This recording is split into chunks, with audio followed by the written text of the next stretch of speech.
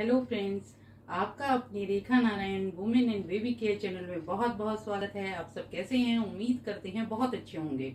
आज हम आपको छोटे बच्चों के लिए, जो बच्चे छह महीने के हो गए हैं तो उनको कौन सा फ़ूड खिलाना चाहिए, किस तरीके से बनाना चाहिए, उसको, उसकी क्वांटिटी कितनी होनी चाहिए, और वो फ़ूड कितना ज़्यादा फ़ायदा देता है, वो आज हम आप लोगों के तो आज जो हम आपको फ़ूड बनाकर दिखा रहे हैं, आप उसको बनाइए और बच्चे को, की हेल्थ को बिल्कुल ठीक कीजिए, क्योंकि बच्चों को फ़ूड की बहुत ज़रूरत होती है। जब वो छह महीने के हो जाएँ, उसके बाद आप फ़ूड शुरू कर सकते हैं और ये फ़ूड सुपर फ़ूड है और बहुत हेल्दी है और बहुत लाइट है, जो बच्चे को पचने में बहुत आसान रहता है और बच्चे को नुकसान भी नहीं देता।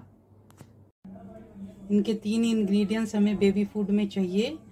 पहला है दूध, दूसरा मेन है सूजी सूजी सिर्फ़ दो चम्मच, बहुत छोटी कटोरी में लेना है और जितना रिक्वायर हो उतना ही बनाना है।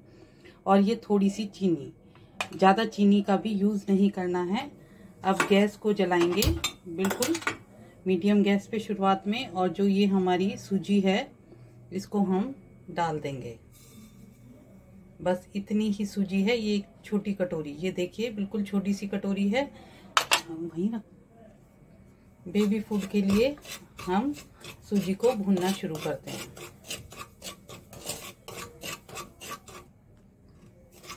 देखिए, सूजी भून गई है लगभग। अब हम इसमें ये एक कप अपना दूध है, पूरा अब इसको डाल देंगे।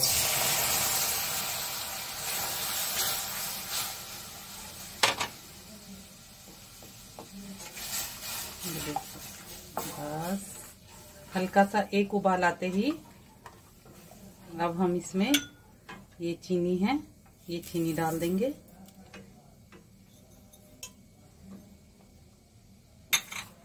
ये हमारी सूजी की खीर हो गई तैयार। चीनी मेल्ट होने तक इसको हल्का चलाना है।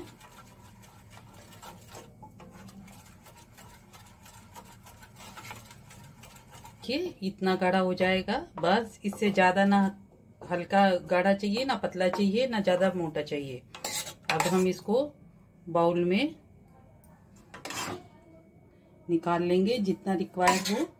ये आप एक बार बनाकर ताज़ा ताज़ा ही बनाइए और ताज़ा ताज़ा ही इसको ऐसे ठंडा करके, और जब ये रूम टेम्परेचर पर आए तो बेबी को खिलाएँ। धीरे धीरे थोड़ा थोड़ा इस तरीके से बहुत ज़्यादा फ़ायदा देता है।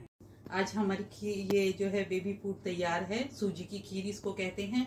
बहुत फ़ायदा देती है, बहुत ज़्यादा बच्चे को डाइजेशन में भी बिल्कुल हल्की है, बहुत फ़ायदा देती है। आप इस खीर को बनाएँ। और अगर आप कुछ जानकारी चाहते हैं तो मुझे कमेंट करके पूछें। और आप सभी का वीडियो देखने के लिए बहुत बहुत धन्यवाद। Thank you